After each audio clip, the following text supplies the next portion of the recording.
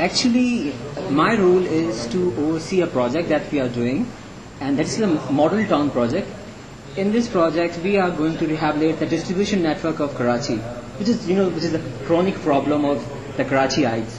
So we are going to bring changes in the system, to bring innovations in the system, so that we could facilitate the people of Karachi. It gives you internal pleasure because you are going to work for the mankind, mankind not but the people of Karachi, because I mean, they are facing load sheddings, uh, they are uh, seeing power outages on regular basis.